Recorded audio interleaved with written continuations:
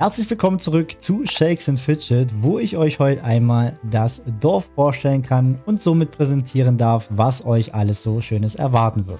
In diesem Video gehen wir einfach mal gemeinsam durch, was denn alles direkt mit Erstellung des Charakters freigeschalten ist und worauf ihr am besten am Anfang direkt achten solltet. Und am Ende des Videos zeige ich euch noch ein kleines Teaser-Video mit Inhalten, die euch im Laufe des Games quasi im Midgame und im Endgame noch erwarten. Denn die Inhalte existieren ja bereits bei Shakes and Fidget und alles, was man dafür braucht, sind eben bestimmte Voraussetzungen, die man im Laufe des Spiels eben freischalten muss. Das wohl coolste Feature überhaupt in Shakes and Fidget ist meiner Meinung nach diese Sammelalbums-Bibliothek, denn hier habt ihr drei unterschiedliche Sammelbücher, in denen es gilt, so viel wie möglich freizuschalten. Das Ganze erhöht extrem den Grind-Faktor von dem Spiel und ist tatsächlich auch gar nicht so unrelevant, denn das Ganze sorgt dafür, dass wenn ihr euer Sammelbuch ab Level 10 freigeschalten habt, ihr eben die Möglichkeit habt, eure Attribute wie zum Beispiel XP-Bonus, generell eure Attribute an sich zu verstärken und somit eben nochmal die Chance habt, euren Charakter eben auf die nächste Stufe zu bringen. Das Ganze ist auch relativ ähm, vielfältig, denn tatsächlich ist es so, dass ihr im Achievement-Buch eben die Möglichkeit habt, hier eben verschiedene Reiter zu finden, wo ihr eben schon seht, was ihr machen müsst, um das Ganze zu bewältigen und könnt euch demnach sehr gut danach richten. Im Sammelalbum in Direkt geht es wirklich darum, Rüstungsteile, Waffen und Schmuck-Items eben zu sammeln. Und wenn man mal einmal drauf geht, sieht man auch, dass hier verschiedene Buchseiten vorgegeben sind, wo es eben darum geht, verschiedene Farben und Varianten von diesen Waffen zu finden. Und da bemerkt man auch gleich mal, wie vielfältig dieses Spiel wirklich ist, denn es gibt nicht nur zwei oder drei unterschiedliche Waffen. Es gibt wirklich 20, 30, 40, 50 unterschiedliche Varianten und das Ganze noch in unterschiedlichen Farben. Also ziemlich cool dargestellt, das Ganze auch mit so einer kleinen Buchanimation. Echt fetzig. Neben der Rüstung, dem Schmuck oder der Waffen habt ihr hier auch noch die Möglichkeit, quasi auf unterschiedliche Expeditionen zu gehen, verschiedene Dungeons freizuschalten oder zu entdecken, eben verschiedene Gegner nochmal zu suchen. Und ihr seht auch hier, es gibt endlos viel zu tun und wirklich endlos viel zu entdecken, bis ihr das Ganze wirklich einmal vollständig habt. Ihr habt ja auch schon mal einen kleinen Einblick über ein paar Bosse, die es denn so im Spiel wirklich gibt damit ihr auch endlich versteht, was ich damit meine, wenn ich sage, es gibt nicht nur ein oder zwei Gegner, sondern jeder Gegner unterscheidet sich in irgendeiner Art und Weise. Zum letzten Sammelbuch, nämlich dem Legendary Sammelbuch, möchte ich mich an der Stelle noch nicht äußern, da das Ganze auch noch viel Abenteuer und viele Überraschungen für euch mitbringen wird. Aber ich kann euch nur sagen, dass das auf jeden Fall mein Lieblingsfeature hier ist und euch definitiv auch richtig viel Spaß bereiten wird. Wenn ihr euren Charakter also erstellt habt, werdet ihr sofort weitergeleitet ins Spiel und steht quasi genau da, wo wir jetzt stehen. Nämlich mit einer Übersicht von dem ganzen Dorf, von vielen Gebäuden und einer großen Liste links an Optionsfeldern, die wir anklicken können, wo wir erstmal ein wenig überfordert sind.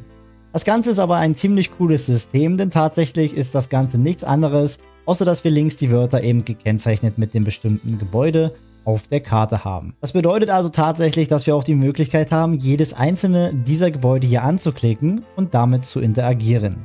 Das gleiche ist aber auch, wenn wir links einfach auf dem Reiter auf ein Wort klicken, kommen wir eben zu dem damit verlinkten Feld. Man sieht auch, wenn ich jetzt hier auf Taverne gehe, dann leuchtet auch die Taverne nämlich in der Mitte der Karte einmal auf.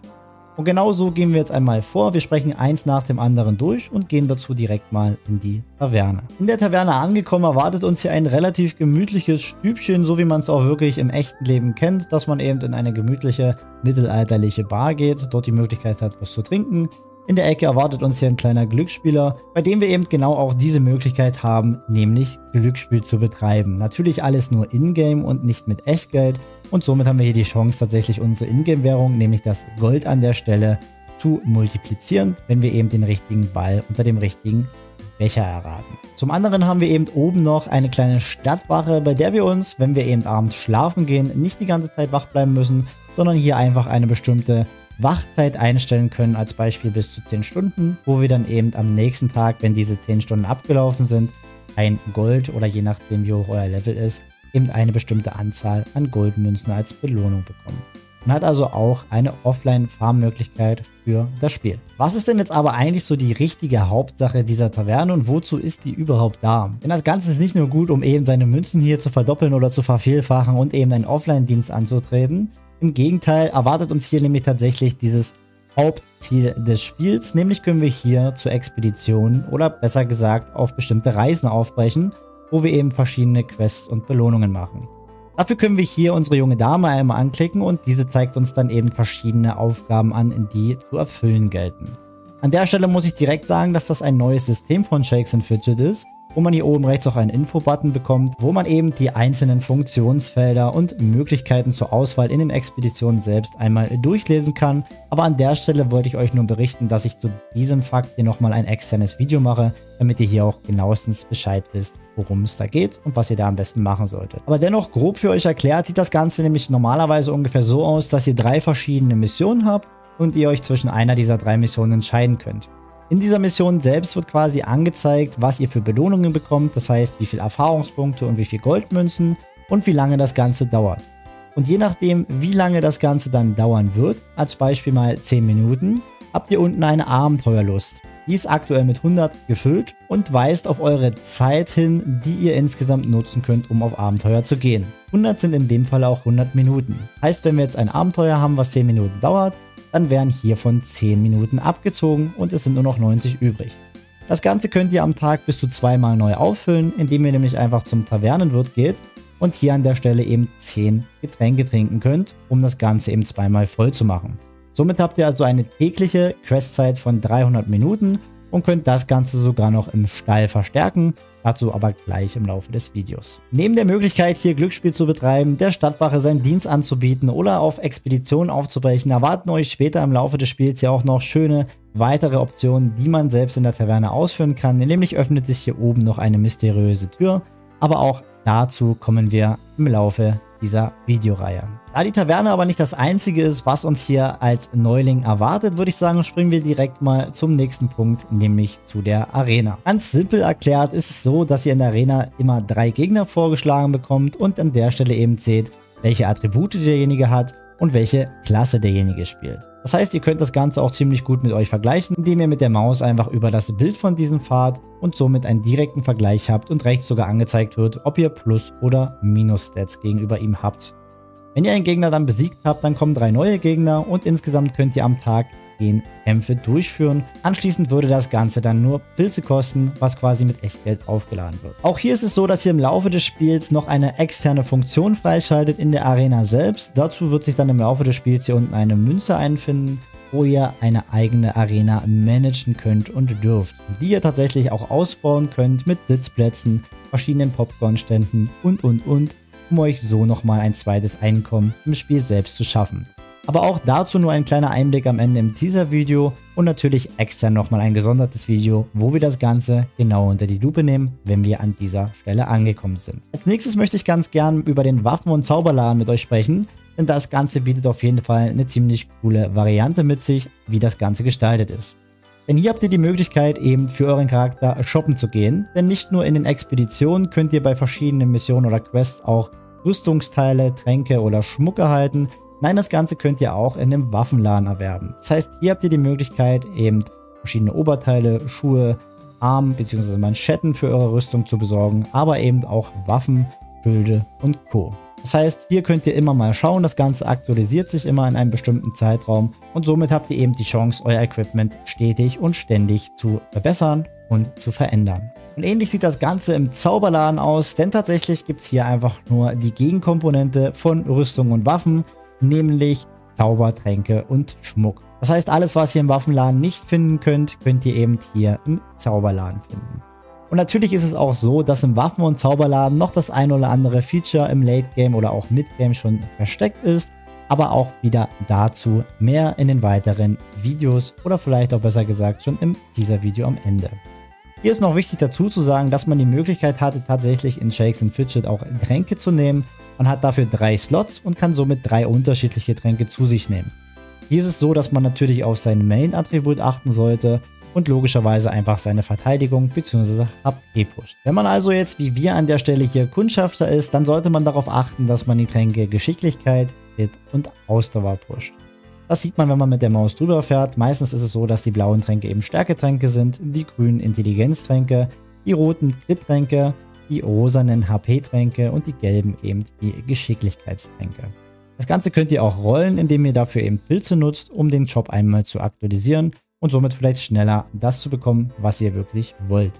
Dann gibt es noch ein paar bestimmte spezifische Items, das heißt, es gibt also auch besondere Tränke, die euch nochmal einen extremen HP-Boost geben und ein bisschen stärker sind als diese normalen Tränke, aber auch die schaltet ihr erst im Laufe des Spiels frei. Außerdem seht ihr jetzt noch was ganz Besonderes im Zauberladen, nämlich eine sogenannte Treibsanduhr der Ungeduld. Diese erlaubt euch quasi die Wartezeit auf Expedition zu überspringen. Das heißt, wenn ihr jetzt eine Mission habt, die 10 Minuten dauert, könnt ihr diese Lampen tatsächlich nutzen, um diese 10 Minuten einfach zu skippen und somit die Mission direkt zu überspringen. Eignet sich also perfekt für diejenigen, die vielleicht nicht ganz so viel Zeit haben am Tag, um jede Viertelstunde wegen einer Quest eben in Shakes and Fidget online zu sein. Was natürlich auch bei so einem super tollen Spiel nicht fehlen darf, sind natürlich Reittiere und genau dafür ist das nächste Icon, nämlich der Stall da. Denn hier habt ihr die Möglichkeit eben verschiedene Reittiere für euren Charakter zu erwerben, die euch eben an der Stelle einen Vorteil bringen, wenn ihr auf Expedition geht.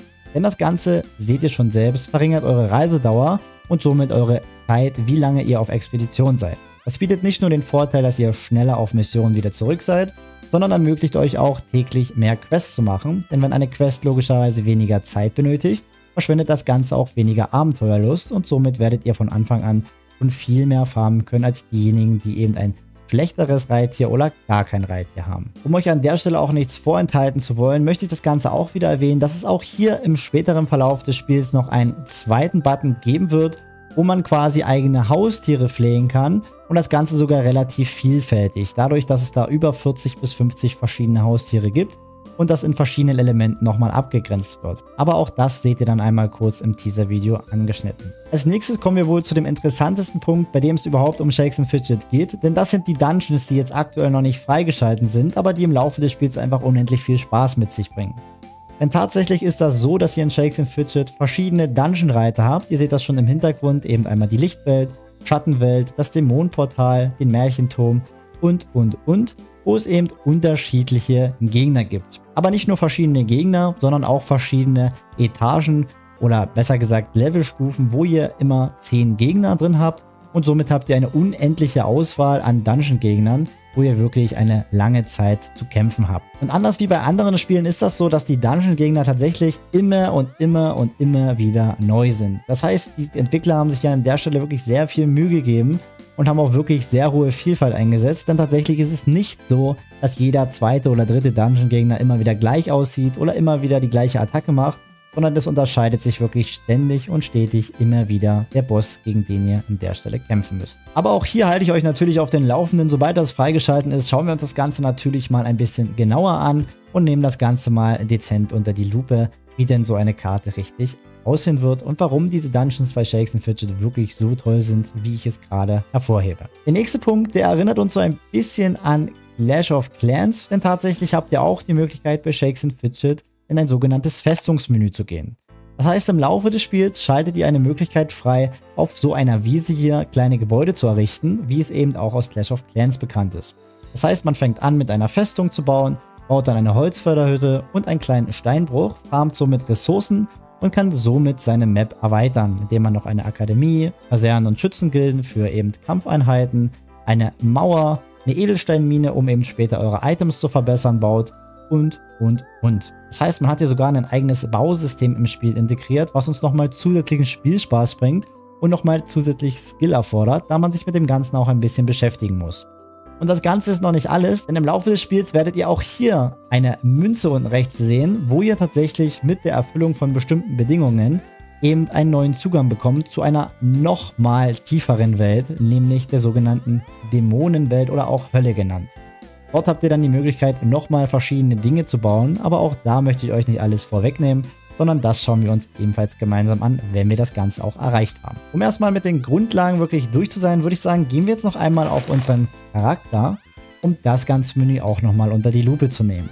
Denn auch das bietet wieder die eine oder andere Besonderheit. Ich habe nämlich im ersten Video gesagt, dass sich Shakes and Fidget so ein bisschen ähnelt zu bestimmten MMORPGs, was relativ erstaunlich ist, dadurch, dass es ja eben in diesem Stil gestaltet ist, wie man das hier sieht.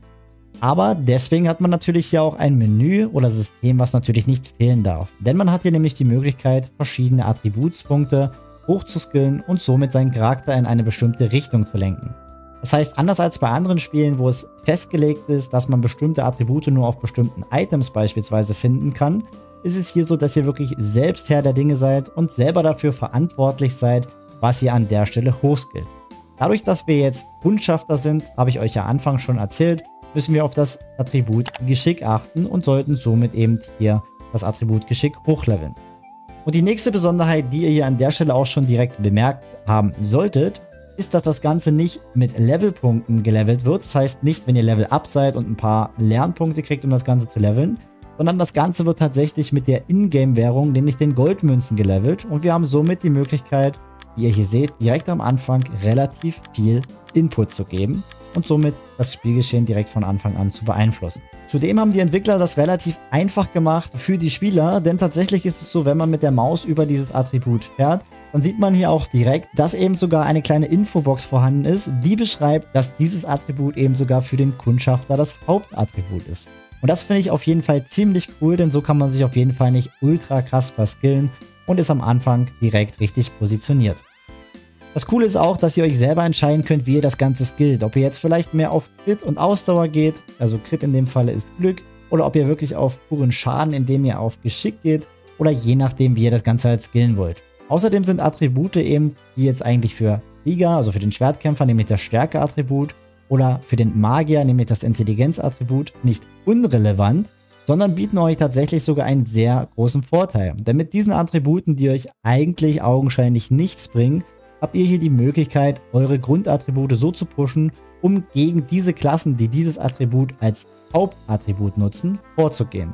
Das heißt, wenn wir jetzt Stärke skillen oder Intelligenz, dann nutzen wir bei der Stärke als Beispiel eben die Verteidigung, die wir pushen, um stärker gegen Krieger zu werden.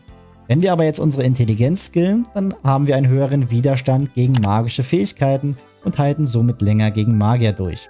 Also ihr merkt schon, das Ganze ist ein ziemlich cooles, durchstrukturiertes System, und das wird im Laufe des Games auf jeden Fall noch interessanter, dadurch, dass man eben mit den verschiedenen Rüstungsteilen und Werten arbeitet. Eben, dass man im späteren Verlauf des Spiels sogar noch Begleiter, das heißt, man kann sogar noch mit Kompagnons anheuern, die mit einem kämpfen. Und vor allem, weil man im späteren Verlauf des Spiels auch Edelsteine hat, die man in die verschiedenen Items einsetzen kann und somit ein extrem vielfältiges System hier hat, um das Ganze ausgeklügelt an die Spitze zu bringen. Es ist wirklich Köpfchen gefragt, aber auch aktive Spielleistung und somit einfach ein perfekter Rhythmus und eine perfekte Mischung an Spiel, wie man es sich wünscht. Eine weitere Besonderheit an Shakes and Fidget ist auch, dass ihr, egal in welchem System, immer ein kleines extra cooles Feature habt, wie zum Beispiel hier, dass ihr einfach eine kleine Charakterbeschreibung äh, hinzufügen könnt. Als Beispiel könnt ihr jetzt schreiben, ich bin First Daiko, freue mich auf die gemeinsame Zeit. So, dann kann ich hier Enter drücken und dann ist das Ganze auch gespeichert. Und wenn jetzt jemand auf mein Profil kommt, kann er eben quasi meine Biografie lesen und das bietet natürlich in dem einen oder anderen Zeitpunkt eben auch Spaß, wenn man sich hier eben eine lustige Biografie ausdenkt. So viel aber zu den Grundlagen. Ich würde sagen, wir besprechen jetzt noch die anderen fehlenden Reiter, nämlich den nächsten Punkt, die Gilde. Was auf jeden Fall 0,0 außer Acht zu lassen ist, denn die Gilde ist so wie in jedem Spiel eigentlich das Wichtigste, was man haben kann. Denn ich finde tatsächlich dieses Gilden-Zusammensein, dieses Miteinander spielen und die Sachen, die möglich gemacht werden durch die Entwickler, die durch die Gilde quasi ausgeführt werden, sind somit das Game-entscheidendste etwas, was ein Game wirklich braucht. Und das hat Shakes Fidget definitiv erfüllt. Gerade ich als Gildenfreund und als Zusammen- und Social-Freund, der hier gerne mit anderen unterwegs ist, ist total begeistert von diesem Gildensystem. Denn tatsächlich ist es so, dass eine Gilde aus 50 Mann besteht ihr die Möglichkeit habt, mit der Gilde gemeinsam eben andere Gilden anzugreifen, die ihr euch sogar selber auswählen könnt. Und gespiegelt natürlich auch gegen andere Gilden euch verteidigen könnt. Und das Ganze ist relativ cool gemacht, denn jeder muss sich einzeln anmelden zum Kampf und auch einzeln anmelden zur Verteidigung. Das heißt, diejenigen, die eben bei einem Gildenkampf oder bei einer Verteidigung nicht online sind und nicht auf das Schwert oder auf das Schild drücken, um bei dem Ganzen eben aktiv dabei zu sein, wirken eben leider nicht mit. Zudem hat man außerdem noch die Möglichkeit, eben richtig tolle Raids durchzuführen, wo man gegen verschiedene Raid-Gegner kämpft und tatsächlich ist das Ganze auch so gestaltet, dass man als gesamte Gilde dagegen kämpft. Das heißt, es fängt immer der Schwächste an und wenn derjenige down ist, kommt eben der Nächste. So sieht man also gemeinsam jeden Einzelnen in der Gilde kämpfen und es lohnt sich tatsächlich auch zu grinden, weil man den anderen auch ein bisschen was zu zeigen hat. Außerdem gibt es im Laufe des Spiels dann auch noch ein Dämonenportal, was man eben ab Stufe 99 dann betreten kann wo man dann auch einfach täglich draufhauen kann und wenn das Ganze besiegt ist, gibt es einfach einen neuen Gegner am nächsten Tag und das Ganze gibt nochmal extra Belohnungen. Ähnlich wie auch beim Charakter habt ihr hier die Möglichkeit eben eine Gildenbeschreibung hinzuzufügen, aber habt auch die Möglichkeit eben die Gilde auszubauen. Das ist auch wieder ein sehr besonderer Punkt in meinen Augen, denn jeder Einzelne in der Gilde muss mitwirken, damit die Gilde als Gesamtpaket auch stark wird. Denn ihr habt die Möglichkeit hier tatsächlich euren Goldschatz und Lehrmeister auszubauen. Das bedeutet quasi, wenn wir das jetzt hier leveln, dann sorgen wir dafür, wie ihr hier seht, dass die Gildenmitglieder nämlich insgesamt 0,4% Goldbonus mehr bekommen. Und wenn wir das leveln, erhöht sich das Ganze natürlich bis ins Unermessliche. Das heißt, wenn jeder Einzelne das levelt, als Beispiel, wenn jetzt 10 Leute eben den Goldschatz auf Skill 5 ausgebaut hätten, dann würde jedes einzelne Gildenmitglied an der Stelle eben 10% zusätzliches Gold auf seine Expedition bekommen. Und ihr könnt euch selber ausrechnen, wie krass das ist, wenn wirklich alle 50 Leute an der Stelle dort mitmachen. Außerdem gibt es später noch die Möglichkeit, ein eigenes Gildenpad, also ein sogenanntes Maskottchen für die Gilde zu haben, was ihr eben auch pflegen und hegen müsst und was eben auch nochmal zusätzlich mit euch angreift. Zudem habt ihr noch die Möglichkeit, ein richtig cooles Logo zu designen, was auch anders ist als bei anderen Spielen, habt ihr hier eben eine sehr vielfältige Auswahl. Also hier könnt ihr wirklich alles mögliche anpassen, wie ihr wollt. Von Farben bis zu Formen, von verschiedenen Symbolen und Zeichen habt ihr wirklich alles dabei und könnt euer Vielfalt hier freien Lauf lassen. Auch ein sehr wichtiger Punkt in meinen Augen, denn ich finde, eine Gilde sollte immer sehr individuell gestaltet sein. Und damit euch die Kommunikation natürlich auch nicht fehlt, dadurch, dass man in dem Spiel ja nicht sprechen kann, habt ihr hier direkt rechts an der Seite auch einen Gildenchat, wo ihr zum Beispiel einfach schreiben könnt, bin jetzt online und mit den anderen an der Stelle chatten könnt. Also richtig, richtig toll, dass man hier auch direkt die Möglichkeit hat, mit seinen Clan-Kameraden zu kommunizieren und sich somit auch auszutauschen, wenn man gerade eben kein Discord zur Verfügung hat oder kein Discord-Freund sein sollte. Wenn wir aber auch direkt beim Punkt Kommunikation sind, kommen wir direkt auch zum nächsten Reiter links in unserer Liste, nämlich das sogenannte Postsystem. Auch das ist wieder sensationell, denn bei diesem Postsystem kann man zum einen eben als Gildenanführer oder als den stellvertretenden Anführer und den Rang, den es eben noch so gibt, Rundnachrichten an die Gilde verschicken, sodass jedes Gildenmitglied eben eine spezielle Nachricht in seinem Postfach bekommt. Und zusätzlich kann man eben noch persönliche Nachrichten verschicken an bestimmte Spieler, eben zum Anwerben für die Gilde. Man bekommt hier Update-Nachrichten und alles mögliche, was einfach so am Start ist. Außerdem findet man hier im E-Mail-Postfach eben noch die aufgezeichneten Kämpfe, die man eben alle so durchgeführt hat, egal ob jetzt Dungeon-Gegner oder normale Gegner in der Arena. Außerdem sieht man auch, ob man angegriffen worden ist oder eben nicht. Gildenkämpfe werden ebenfalls aufgezeichnet und alles, was ihr quasi an aktiven Sachen oder passiven Sachen betreibt, was mit Kämpfen zu tun habt, findet ihr in diesem Reiter. Der dritte Reiter, das sind quasi eure Freunde, wo ihr selber eure Freunde nochmal als Übersicht habt. Und hier seht ihr auch schon selbst das Menü, wenn man auf Plus geht, hat man hier die Möglichkeit, diesen Spieler nochmal extern der Arena anzugreifen. Man kann den Spieler auch ignorieren, falls euch mal jemand auf die Nerven geht. Kann seinen eigenen Charakter sogar mit diesem Spieler vergleichen und somit nochmal seine Werte gegeneinander irgendwo in die Waage halten. Hat die Möglichkeit, eben seine Charakterwerte umzuschalten, dass man eben seine Beschreibung sieht oder so sieht man eben seine Statistiken. Und wenn ihr eben Level 10 erreicht habt, dann habt ihr hier noch einen kleinen Briefumschlag, wo ihr denjenigen an der Stelle eben noch privat anschreiben könnt. Also ziemlich cool gemacht und das Ganze erinnert uns natürlich auch so ein bisschen an so ein kleines E-Mail-Postfach, was sehr übersichtlich gestaltet ist und auf jeden Fall auch wieder so den einen oder anderen Reiz mit sich bringt, tatsächlich auch mal aktiv mit anderen Leuten zu kommunizieren. Der nächste Punkt ist die Ehrenhalle und in der Ehrenhalle oder besser gesagt einfach Rangliste sieht man quasi alle Spieler, die sich hier befinden mit der aktuellen Platzierung Klasse, Gilde, Stufe und erreichter Ehre. Das heißt, man hat hier eine genaue Übersicht für jeden einzelnen Spieler und kann diese einzelnen Spieler auch anklicken, um zu sehen, okay, was haben die denn jetzt gerade, was haben die für Attribute am Start, in welcher Gilde sind die beigetreten und kann diese dann auch direkt über dieses Menü, was wir gerade schon besprochen haben, kontaktieren. Diese Ranglisten gibt es für Gilden, Festungen, Pets und die Unterwelt, die wir schon besprochen haben. Und somit hat man hier auf jeden Fall sehr viel Möglichkeiten, verschiedene Ranglisten zu dominieren. Und der Grind-Faktor ist auf jeden Fall sehr, sehr hoch. Ganz abgesehen von der Spieleranzahl, wie ihr hier schon seht, nämlich 25.576 plus, brauchen wir gar nicht drüber reden, dass das definitiv einzigartig ist, denn kaum ein Online-Spiel wie dieses hat so eine hohe Anzahl von Spielern auf einen Server. Und was ist natürlich das Wichtigste an so einem Spiel? Richtig, mit Konkurrenten und Mitspieler, gegen die man sich beweisen kann. Der letzte Punkt, den ich euch hier im Bereich Grundfaktoren oder den Basics von Shakes and Fidget zeigen möchte, ist auch der letzte Reiter, nämlich das Glücksrad, wo ihr die Möglichkeit habt, quasi jeden Tag ein paar Mal dran zu drehen. Und ihr seht schon selbst, man hat hier dann die Möglichkeit, ein oder andere Belohnungen zu snacken und man kann sogar Pilze bekommen, was hier in Shakes and Fidget als Echtgeldwährung gilt. Und direkt beim Thema Echtgeld angekommen, möchte ich euch auch direkt zeigen, wo das Ganze überhaupt aufladbar ist. Dazu geht ihr nämlich einmal hier auf das Plus und habt hier quasi die Möglichkeit, verschiedene Pilze zu erwerben. Das Ganze lohnt sich aber definitiv mehr über die originale Website oder offizielle Website von Shakes Fidget zu holen, falls ihr das Ganze mal in Zukunft anstrebt. Aber auch dazu mache ich euch nochmal ein gesondertes Video. Deswegen überstürzt nichts, aber einfach, dass ihr das Ganze mal gesehen habt. Wenigstens wisst ihr jetzt zumindest über die Währungen Bescheid, denn Gold ist quasi die Ingame-Währung, die durch Expedition etc. gefunden und benutzt werden kann.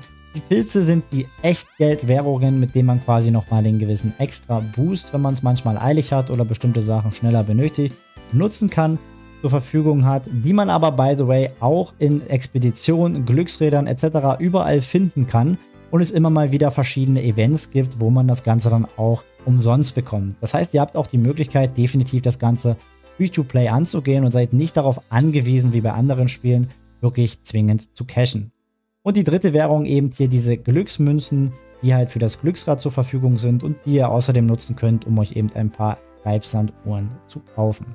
Das Ganze ändert sich ja auch immer jede Woche, das heißt, ihr habt jede Woche neue coole Angebote und das Ganze variiert ein bisschen, sodass das nicht stumpf und steif fest ist, dass ihr hier immer nur dasselbe kaufen könnt. An der Stelle angekommen und die Basics quasi besprochen, würde ich euch jetzt ganz kurz mal ein Teaser-Video einblenden, wo ihr auch mal so ein bisschen seht, was euch im Laufe der Zeit in dem Spiel noch erwarten wird. Denn das Ganze bringt wirklich sehr viel Abwechslung mit sich und auf jeden Fall genug Spaß und auf jeden Fall auch genug Aktivität, die ihr hier in dem Spiel aufbringen könnt. Deswegen seid einfach gespannt, schaut euch das Teaser-Video an und anschließend verrate ich euch noch den einen oder anderen Effekt, welcher euch nochmal zusätzlich im Spiel erwarten wird.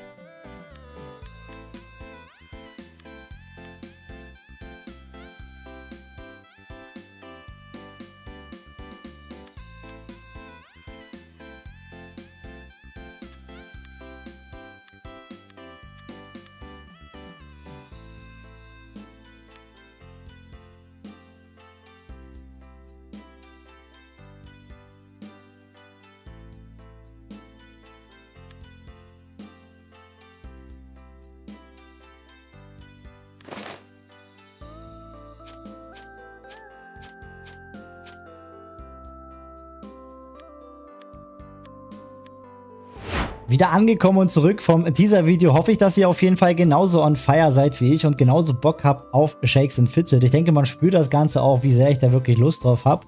Ähm, möchte ich euch an der Stelle trotzdem noch so ein paar Facts nennen, die jetzt nicht im Teaser-Video zu sehen waren. Denn es gibt halt tatsächlich noch die ein oder anderen besonderen Sachen, die immer nur zu bestimmten Zeiten auftreten.